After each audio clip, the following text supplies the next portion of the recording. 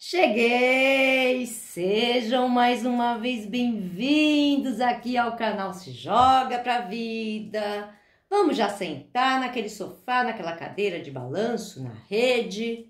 Pega um cafezinho, vamos bater um papinho aqui? Porque eu vou falar hoje sobre quando eu me divorciar, ufa, vou estar tá livre desse embuste Será que é assim mesmo, gente? Então tá pela primeira vez, seja bem-vindo, bem-vinda.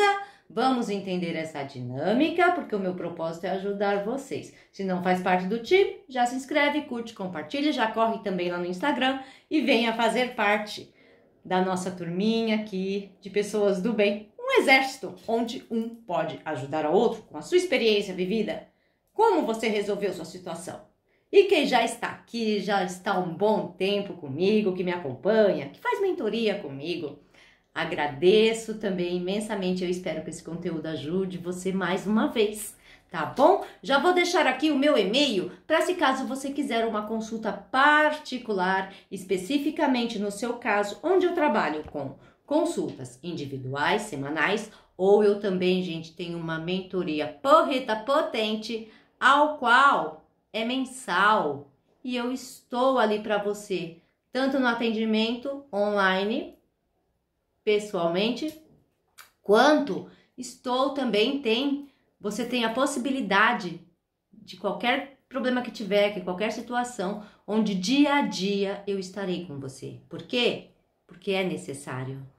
Nós teremos um momento, nós teremos um tempo todos os dias para que eu te direcione, para que eu te ajude nessa caminhada, ok? Então, para mais informações, como eu disse, tá no e-mail. É só mandar lá o seu e-mail que a gente conversa ou também pelo direct do Instagram. E vamos iniciar esse vídeo sem mais delongas, né, minha gente? Porque o tortura que é! O divórcio com o narcisista, se sair dele. Primeiro passo, né, gente? Qual é? Identificou que está num relacionamento abusivo. Eu acho que esse é um dos mais difíceis, porque afinal de contas você viveu com uma pessoa que te mostrou algo tão lindo, tão maravilhoso, tava tudo tão bem, e de repente, aí vem as confusões, aí vem os pensar, o tentar resolver, o tentar mudar, porque aí você acha que às vezes é um problema, ah, mas é porque ele sofreu muito na infância. Ah, se ele for para a igreja, ele vai mudar, ele vai melhorar. Ah, se de repente ele parar de beber, ele vai mudar. Eu vou ajudar ele. Não, vamos lá. Ah, e se ele procurar um um psicólogo, se a gente fizer terapia de casal e quantas outras coisas as pessoas acabam ficando anos, anos e anos junto com um narcisista, com uma pessoa abusiva, acreditando que isso vai fazer a pessoa mudar. E, gente, é perca de tempo, não muda. Quando nós mudamos? Quando nós percebemos que algo está nos prejudicando muito, aí sim a pessoa procura o quê? É um médico, eu tenho certeza que muitas vezes você passou por tantas dores aqui, tomou um chazinho, né? Um chazinho, passou uma pomadinha, melhorou no outro dia, continuou tua jornada e de repente algo maior estava lá dentro e você só foi no médico quando? Quando isso te prejudicou foi muito, que você já chegou num grau. Assim é um narcisista, assim é uma pessoa abusiva. Eles não procuram. Afinal de contas, para que que eu vou mudar? Se do jeito que eu tô fazendo tá dando certo, eu tenho alguém aqui por mim, eu tenho segurança. Então, o primeiro passo para sair de um relacionamento abusivo é isso, é o mais difícil, é entender eu estou num relacionamento abusivo. Eu não mudo ninguém, eu tenho que mudar é a mim, salvar a mim. Afinal de contas, ninguém salva ninguém. Principalmente uma pessoa que não, não é ajudável, não é? E quando saímos, achamos o que? Ah, agora que eu me divorciar, vai estar tá tudo ok. Ixi, não vejo a hora e as coisas não são bem assim. Porque, primeira coisa, um divórcio com um narcisista é algo desgastante demais. Porque o narcisista, mesmo que você saiu ou que ele vai embora, ele não quer perder. Ele não quer deixar o que ficou para trás. E a ira vai ser maior, principalmente se ele perder que está perdendo o controle sobre você. E aí vem as questões ao qual você precisa entender que quando você fez a parte mais difícil, se separou do narcisista, já está longe fisicamente, já é o primeiro passo para você falar, ufa, sim, agora eu tô liberta. Afinal de contas, já não precisa conviver com aquilo mais na tua cabeça. Mas aí vem os próximos passos. Entender que o que você viveu, principalmente se você viveu um, dois, três, sei lá quantos anos, quanto maior o tempo que você conviveu com essa pessoa, maior foi o vínculo de abuso. Mais coisas tem aí dentro de você que precisam ser resolvidas. E mais, muito comum também, quando nos separamos, saímos fora do relacionamento abusivo, seja que ele te deixou ou não, o que acontece? Vem ainda na cabeça achando que tem que dar satisfações para essa pessoa, que precisa continuar ter, tendo contato com ela, que precisa resolver coisas, situações onde vocês vão ter que ali conviver, conversar. Quantas vezes você vai conversar e as coisas saem do ritmo, acaba com a tua paz e você, ó, vai pro chão. É pressão que sobe, é mal-estar, é enjoo, porque afinal de contas, ele quer como o jeito dele, dele ou dela, hein, gente? Pera, vamos lá de novo, dele ou dela. Adapte a sua situação. Porque narcisistas, eles não querem perder. Narcisistas, eles querem as coisas do jeito deles, é igual uma criancinha birrenta. E para ele, nada que vai te favorecer, ele vai facilitar. Contrário, quanto mais prejudicado, prejudicado ele deixar, para ele é o melhor. Então aí vem as questões da qual do bendito divórcio separação. Aí vem também outra questão que é, ah, mas eu tenho filhos com ele. Aí ah, eu preciso ter um contato com ele. E se acontece uma emergência, eu vou ter que contatar ele, eu vou ter que informar. E nisso, o que, que acontece? Você ainda continua no ciclo do abuso. Mesmo estando longe, mesmo já tendo se desfeito, menos já, já estando resolvendo as questões de bens, mesmo já tendo que fazer todo aquele processo que é além do divórcio, a pensão alimentícia e outras coisas mais. Então existem coisas que vocês precisam entender quando se sai do relacionamento abusivo. Não importa qual seja o grau. É primeiro impor limites e entender que você não é mais a mesma pessoa que quando estava dentro do relacionamento. Porque para o narcisista ele acha que mesmo quando ele vai embora você continua sendo a mesma mulher, o mesmo homem que dizia amém, que aceitava tudo, para tentar e que vai ainda, mais ainda, ele acha que você ainda vai continuar aí para a hora que quiser procurar você para ser secretária, empregada, para resolver algum problema dele. Então vocês têm que analisar muito e prestar atenção nisso que eu vou falar aqui nesse vídeo. Saiu do relacionamento abusivo, tem coisas a resolver, seja pensão, seja bem, seja lá o que for que você tiver que resolver. Primeiro passo, um bom advogado. Um advogado especialista em família. Não adianta vocês saírem daí correndo e pegar o primeiro advogado por desespero. Não, tem que ser um que entenda. Segundo passo, Tá lá? Já tá em trâmite? Narcisista fica mandando mensagem te ligando? Não atenda, não responda ao WhatsApp dele. E se caso você respondeu, se caso você tá atendendo ele e ele tá te agredindo com palavras, te ofendendo, opa, impor o limite, precisou, denuncie. Você tem a faca e o queijo na mão para isso. Porque narcisistas, para eles, eles se acham no poder de poder abusar de você, maltratar você, continuar te ofendendo mesmo quando está fora, ameaças. Então verifique o seu contexto. Precisou, gente, hoje, principalmente mulheres. Ah, a justiça é falha, não interessa mas tem esse direito onde você vai lá. Muitos casos, só de você ir lá denunciar, só de você fazer um boletim de ocorrência, muitos narcisistas, principalmente o oculto, que eu já disse isso várias vezes, eu sempre falo narcisista oculto, eles não querem manchar a imagem, então eles morrem de medo do nome deles estar lá. Agora pensa, por que, que eles têm medo? Porque se ele é uma pessoa que quer mostrar que é honrada, que é bom, que é isso, que é aquilo, e qualquer coisa que for puxar lá, ele tem um boletim de ocorrência, uma denúncia contra ele de abuso contra a mulher, de um mau marido, de um mau pai, isso para ele é a morte. Então é uma das formas que você tem para impor o limite. Usem dos direitos que tem. Se tem dúvidas, procurem entender sobre isso, ok? Outra coisa, como eu estava dizendo, tá atendendo ligação dele, por quê? Por que, que você tem que ficar atendendo ligação se você já separou? Se é uma pessoa que não sabe se comunicar saudavelmente, que não respeita você.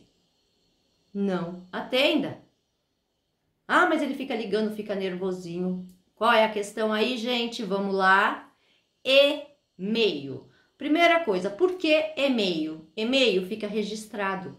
E normalmente o que, que você pode fazer? Olha, de acordo a forma ao qual você anda me ligando, me ofendendo, já registra tudo que ele está fazendo.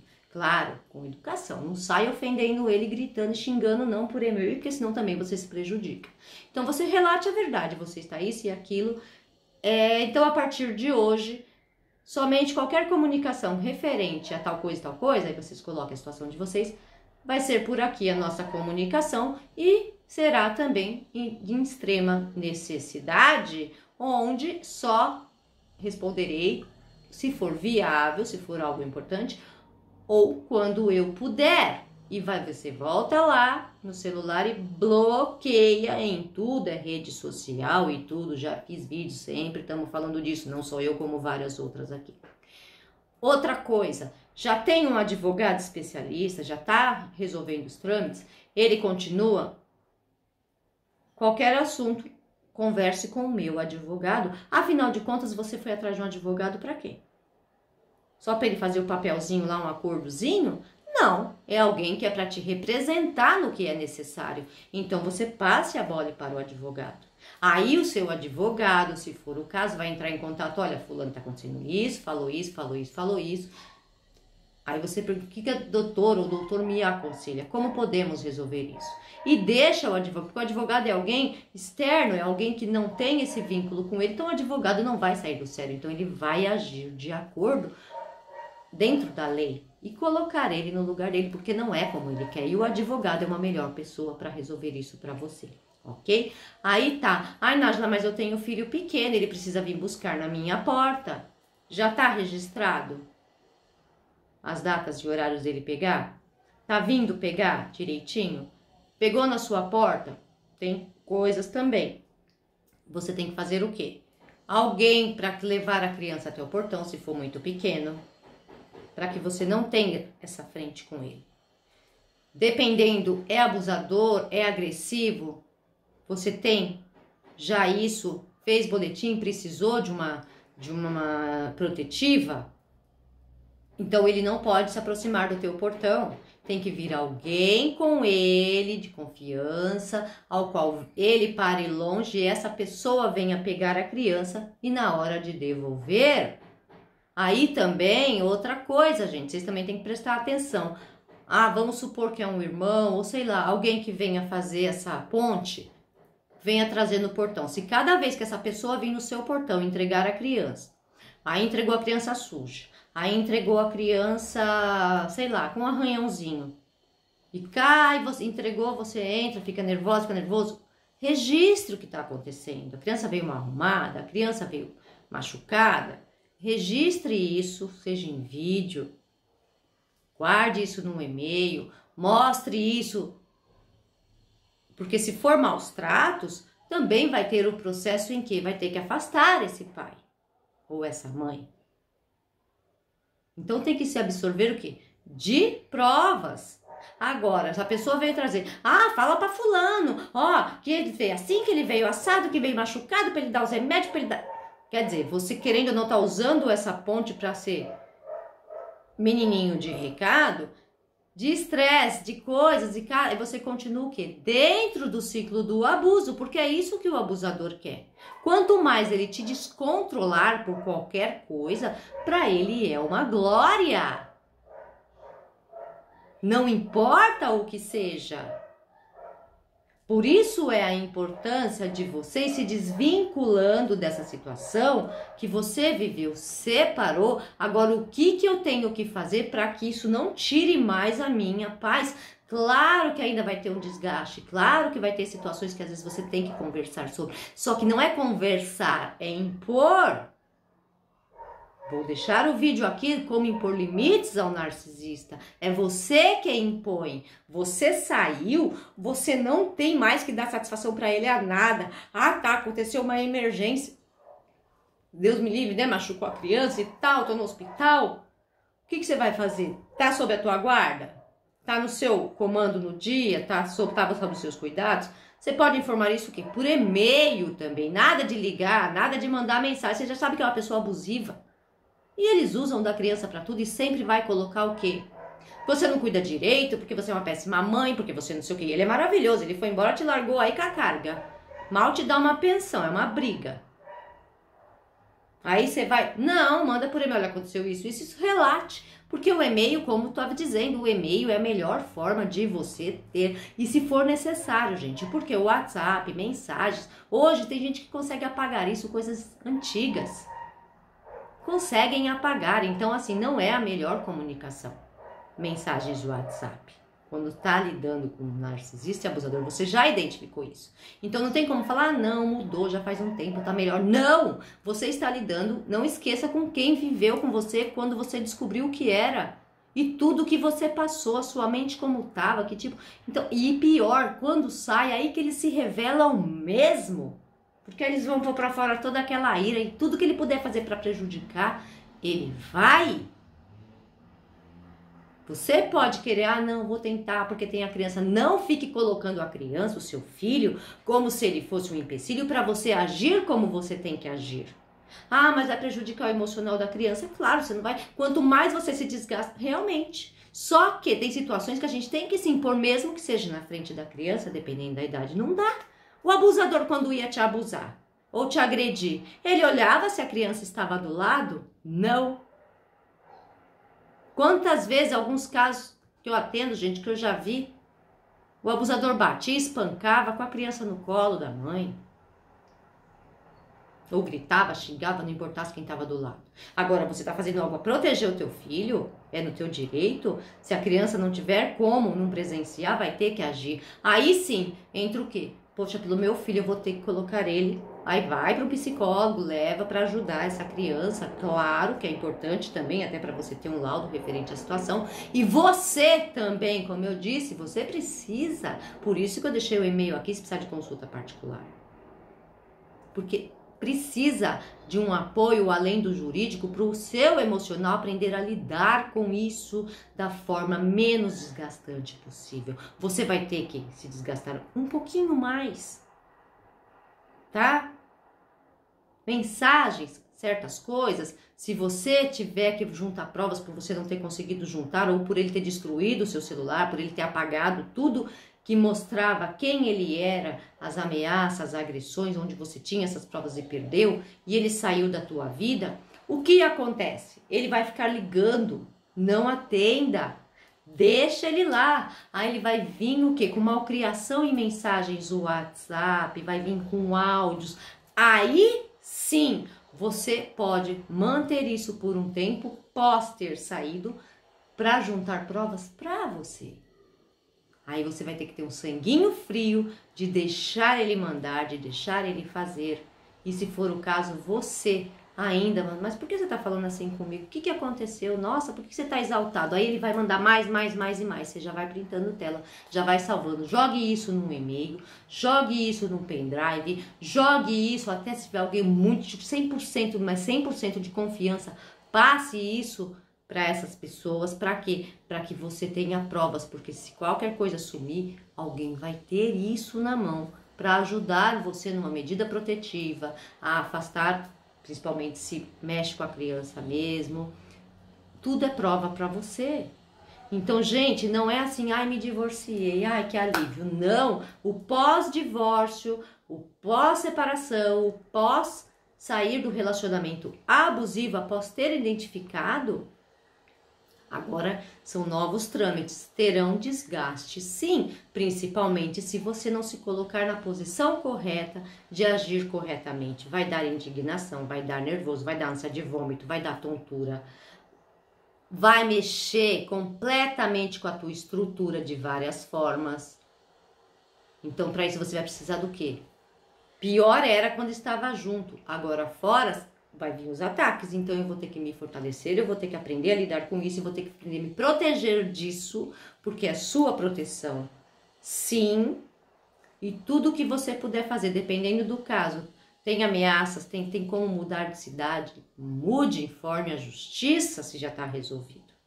E vá, Você não tem que se prender mais por causa do abusador. Você não tem mais que dar satisfações à tua vida ao abusador.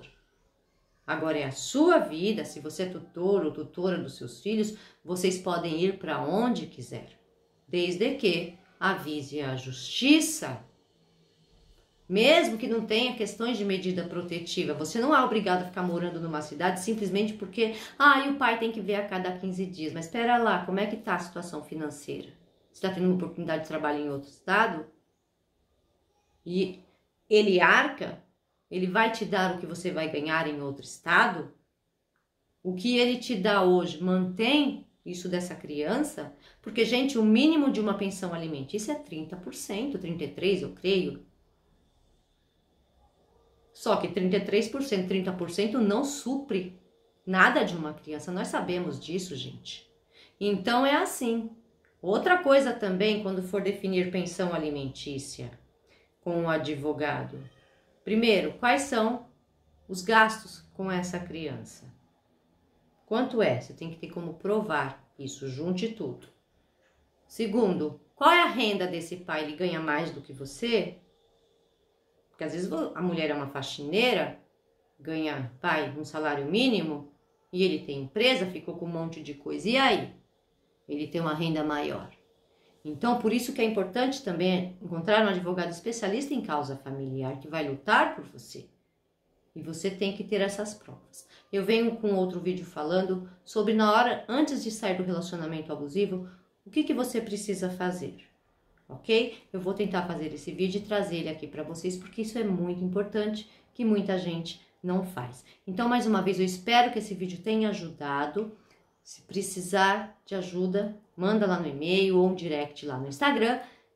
Se não se inscreveu ainda, já se inscreve, curte, compartilha esse vídeo, deixa o seu comentário se algo aconteceu com você desse tipo, como você resolveu ou o que você está passando. Porque às vezes também outra pessoa pode ler o seu comentário e te dar mais uma direção, além do que eu falei aqui, gente. Porque, como eu digo, no vídeo não dá pra gente falar tudo, a gente vem só com algo, por isso que é importante para você ter a tua situação direcionada a você em consulta particular para poder ter a direção certa.